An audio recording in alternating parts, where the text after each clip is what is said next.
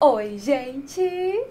No vídeo de hoje, eu vou falar sete coisas que vocês não devem fazer caso vocês queiram amadurecer e ter autoestima. Porque eu sei que é o que vocês querem, né? É o que vocês diariamente me escrevem falando que estão em busca de crescer, amadurecer, de se tornar a sua melhor versão. Esse daqui é mais um episódio da série Autoestima. Se você chegou aqui agora, eu tenho essa série aqui no meu canal desde 2020, já tem vários episódios e hoje a gente vai entrar mais a fundo nessa questão do amadurecimento. O que não fazer se você quer amadurecer, crescer, ter autoestima, deixar de ser como uma criança mimada, enfim, a gente vai falar mais sobre isso nesse vídeo. Gente, é inevitável. Amadurecimento e autoestima são duas coisas que estão muito interligadas. Uma pessoa madura geralmente é uma pessoa bem resolvida, é uma pessoa mais confiante, uma pessoa que tem mais autoestima. Já a pessoa imatura, ela vai passar por diversos problemas em relação à autoestima. Por isso que muitos problemas de autoestima começam na fase da adolescência, porque é aquela fase que a gente já não é mais criança, que é uma transição para a fase adulta, mas a gente ainda não amadureceu. Então, muitos problemas de autoestima começam nessa fase e vão se prolongando aí até a fase adulta, né? Algumas pessoas têm essa dificuldade mesmo de amadurecer, de lidar com certas coisas da vida. E se você se identifica com isso, se diante de algumas coisas que acontecem, você tem algumas atitudes imaturas, você sofre, você tem dificuldade de lidar, nesse vídeo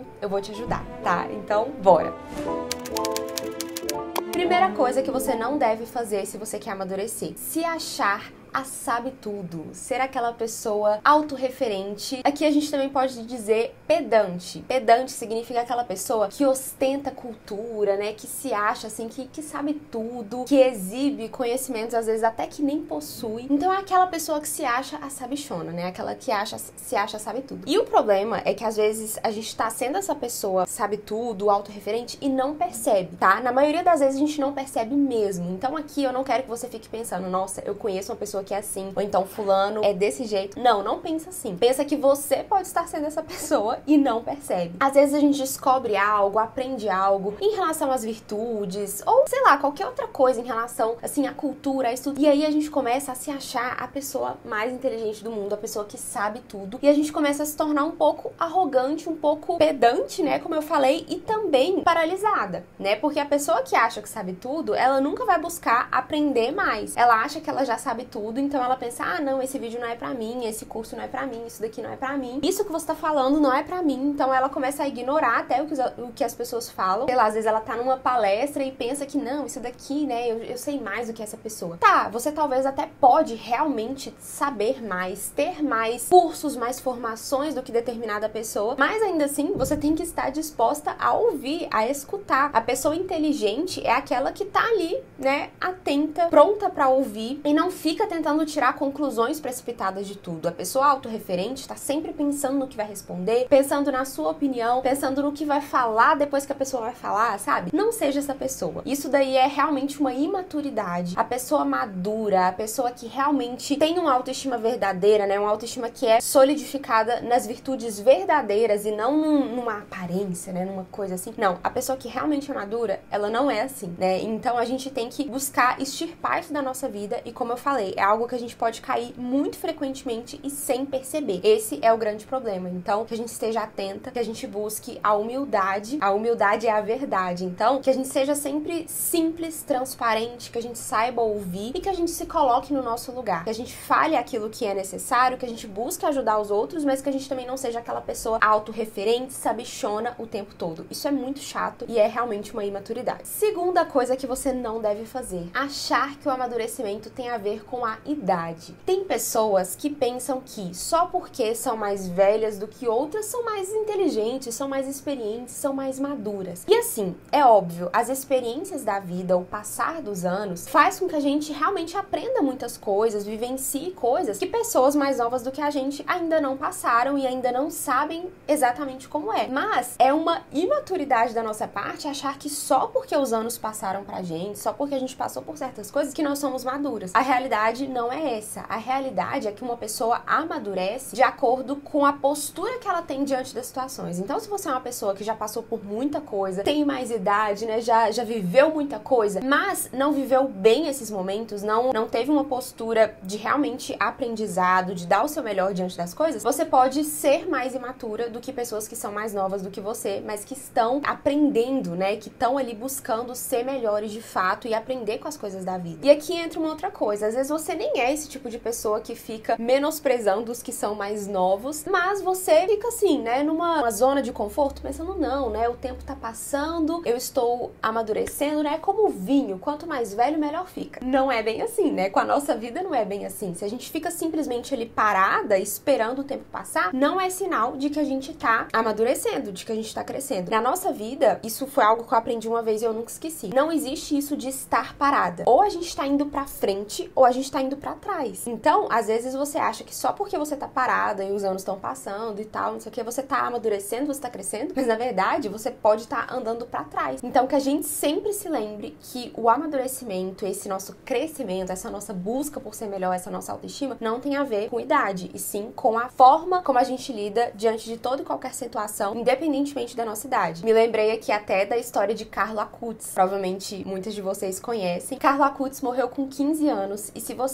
der um Google, procurar assistir vídeo ou ler coisas que ele falou, conhecer a história dele, né, quem ele foi, você vai ver que ele foi muito mais maduro, ele cresceu infinitamente mais do que muitas pessoas que já estão numa fase, numa idade muito mais avançada. Então, realmente, a idade não não diz isso, né? Mas sim a nossa postura diante das situações. Eu sempre lembro do Carlo, né? fico lembrando da história dele. Inclusive, tem uma frase dele que eu gosto muito, né? Que é o seguinte: ele diz que todos nascem originais, mas muitos morrem fotocópias. Então, é isso que acontece, né? As pessoas que não buscam amadurecer, elas vão deixando a vida passar, não se tornam protagonistas da sua própria própria vida, tentam ser como outras pessoas, vão vivendo ali conforme né, a vida vai levando, vão vivendo conforme a maré, e no final morrem como fotocópias e não pessoas originais. Então, Carlos morreu aos 15 anos e ele foi original, né? Ele foi maduro, ele soube de fato passar por tudo, por todas as circunstâncias que a vida foi colocando diante dele. Terceira coisa que você não deve fazer: buscar se basear no que os outros pensam ou falam de você. Aqui entra aquela frase que eu sempre gosto de mencionar: és o que és. Você não é melhor melhor porque as pessoas te elogiam e nem pior porque as pessoas te criticam. Você é aquilo que você é. Então, quem você tem sido? Né? Às vezes, diante de uma crítica, de, de algo negativo que as pessoas vão dizer sobre você, você vai olhar para dentro de você, né? Caso você se conheça e você vai pensar, é, realmente, isso é verdade. Eu sou assim. Mas, se você também se conhece, se essa crítica negativa que as pessoas fizeram de você é errada, não é verdade, você vai ficar tranquila. Você vai pensar, eu não sou isso. O que estão falando, o que estão dizendo, não muda o que eu sou. Às vezes a gente tem um apego muito muito grande a nossa reputação. Isso é uma imaturidade, né? Sempre tá ali pensando no que vão pensar da gente e tudo. Isso é uma imaturidade, porque a gente não tem controle sobre a nossa reputação. Uma pessoa que fica o tempo todo querendo cuidar da sua reputação é como aquela pessoa fica tão preocupada com a saúde que começa a tomar remédio para tudo o tempo todo e ela acha que ela está cuidando da saúde quando ela está destruindo a saúde dela, né? Com esse excesso de remédios desnecessários. Então, é uma analogia sobre a nossa reputação, né? Às vezes a gente quer tanto preservar a nossa reputação, tanto cuidar da nossa reputação, que a gente acaba estragando a nossa reputação. Porque a gente deixa de ser quem a gente é, a gente se torna uma fotocópia, deixa de ser original e a nossa vida perde totalmente o sentido. Isso é uma imaturidade. A pessoa madura, ela é quem ela é. Isso não tem a ver com arrogância, com você ser assim prepotente, né? Com você, ah, eu não ligo pra, pra nada do que dizem. Não, tem coisas que a gente vai ter que ligar, né? Dependendo da pessoa que falou, se é uma pessoa que nos conhece, que nos ama, a gente tem que dar ouvidos e entender o que a pessoa tá querendo dizer. Se realmente faz sentido ou não. Mas só sabe filtrar essas, esses julgamentos, essas críticas, a pessoa madura, a pessoa que tem autoconhecimento. Porque se eu me conheço, eu sei filtrar se o que as pessoas estão falando sobre mim é verdade ou não. Então, se basear no que os outros pensam ou falam é algo que não nos amadurece. 4. Reclamar de tudo o tempo todo. Olhar para situações do dia a dia sempre de forma negativa. Gente, isso é muito imaturidade. Por quê? A criança, ela não consegue resolver problemas, ela é dependente dos pais o tempo todo, né? Na maioria das vezes ela não consegue resolver determinados problemas e ela sempre precisa de alguém para resolver. Isso é próprio das crianças, né? Dos bebês e tudo mais. A gente é que tem que cuidar deles e levar soluções e ajudá-los a resolver os problemas. Mas a vida adulta é o contrário. Nós temos que ser essa pessoa que age, que busca soluções, que tem esse olhar otimista, esse olhar positivo, que busca resolver o problema em vez de ficar reclamando. Se você é aquela pessoa, né, que reclama do clima, reclama das pessoas, reclama de tudo que acontece acontece, né? Qualquer coisa, se você tá o tempo todo reclamando, você é igual uma criança birrenta.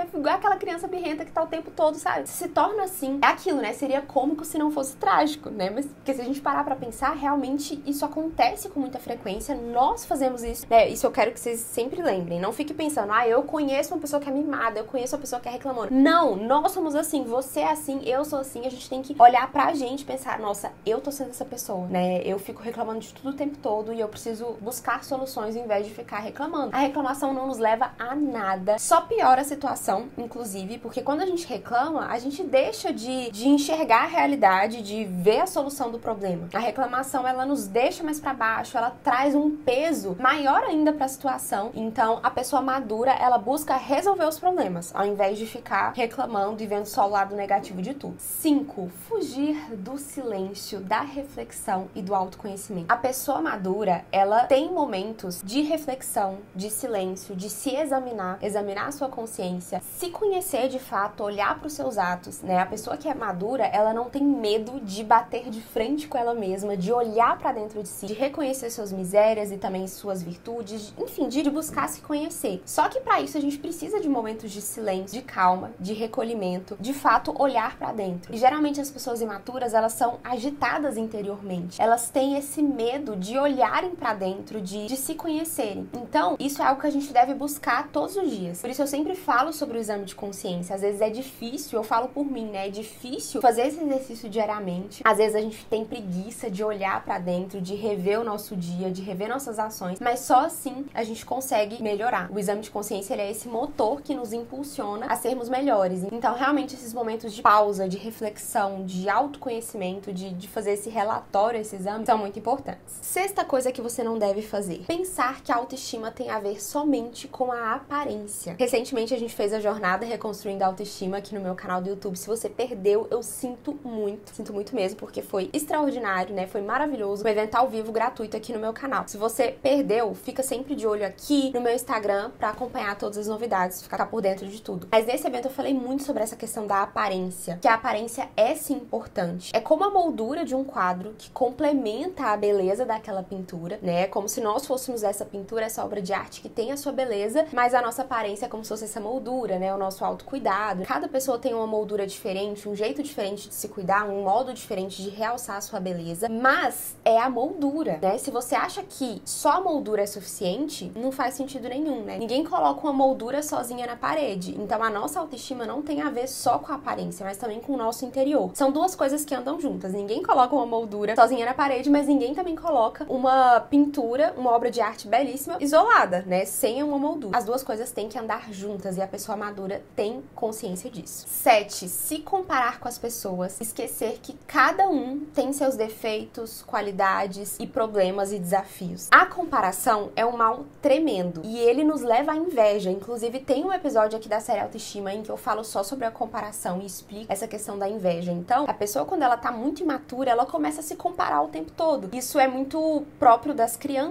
também, das crianças, dos adolescentes. A criança sempre quer o que o outro tem, né? Se ela tá ali brincando e vê uma criança com outro brinquedo que às vezes é até inferior ao dela, enfim, só porque é o da outra pessoa ela quer aquilo lá, é muito próprio das crianças, dos adolescentes. Só que a gente leva isso pra vida adulta. A gente começa a se comparar o tempo todo, a gente quer ter o que o outro tem, a gente deixa de, de ter essa noção de que todo mundo passa por problemas. Não é porque fulana tem isso, tem aquilo, que ela não tem problemas, que a vida dela também não tem desafios. A gente tem essa tendência de falar, ah, não, mas fulana consegue isso porque ela tem ajuda, ela tem isso, ela tem aquilo. Beleza, ela até pode ter isso, mas ela também tem os problemas dela, ela também tem os desafios dela. E a gente sempre tende a se comparar com pessoas que estão melhores do que nós, né? Então a gente olha para a vida de fulana e fala: "Ah, mas fulana consegue fazer isso e aquilo porque ela tem ajuda, porque ela tem dinheiro, porque o marido dela é assim, porque ela mora em tal lugar, ou porque ela tem filhos, porque ela tem muitos, ou porque ela tem poucos". Enfim, a gente sempre vai olhar para uma pessoa que a gente acha que tá melhor do que a gente e falar: "Ah, é, mas ela conseguiu por causa disso, disso e daquilo". Mas agora eu quero convidar vocês a fazerem um pouco o inverso. A gente olhar para pessoas que estão piores do que a gente. Talvez numa situação de um sofrimento, de uma doença, de uma crise financeira, pessoas que passaram por problemas, por dificuldades, mas que deram a volta por cima, que deram o seu melhor ali naquela circunstância. Então, uma amiga minha até me mandou uma foto da Suzana. Ela é uma repórter que faleceu recentemente com a doença, se não me engano, era câncer. Enfim, eu preciso depois, eu quero muito conhecer mais a história dela. Mas daí a minha amiga me mandou uma foto, eu vou até colocar aí pra vocês, dela no leito, assim, do hospital, algumas semanas antes da sua morte, com a doença já bem avançada, e ela lendo o livro A Conquista das Virtudes. A partir daquela foto, eu refleti várias coisas. Eu pensei, assim, que caramba, ela tá numa situação muito difícil, muito mais difícil do que os problemas que eu passo no meu dia a dia. Ela tá ali, né, diante de uma doença, diante de uma imprevisibilidade, enfim, de muito sofrimento, de muitas dores, mas ela tá com esse sorriso no rosto. Ela tá lendo algo, ela tá buscando ser melhor ali naquela circunstância dela, sabe? Aquilo me tocou muito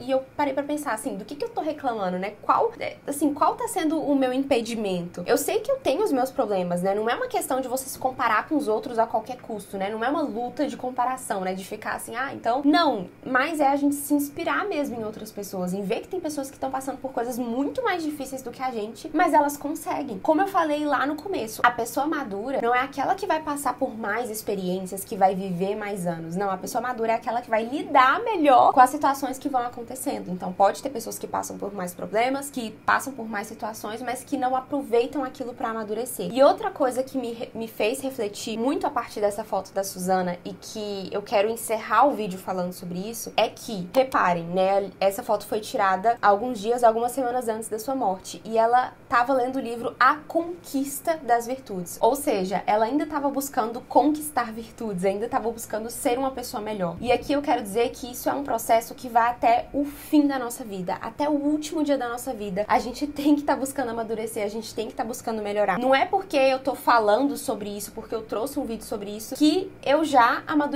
Óbvio que não, assim, inclusive eu quero, eu deveria ter falado sobre isso no começo do vídeo, porque todas essas coisas que eu falei para vocês são coisas que eu falo para mim mesma, né? Coisas que eu preciso melhorar também. A gente sempre tem que ter muito claro na nossa cabeça que esse processo de amadurecimento, de autoestima, de autoconhecimento é até o fim. Gente, é luta diária, é até o final da nossa vida. A gente tem que estar tá buscando ser a nossa melhor versão. Então essa foto me fez refletir muito, muito, muito sobre isso. Agora eu quero saber de vocês. No que esse vídeo ajudou aí na vida de vocês?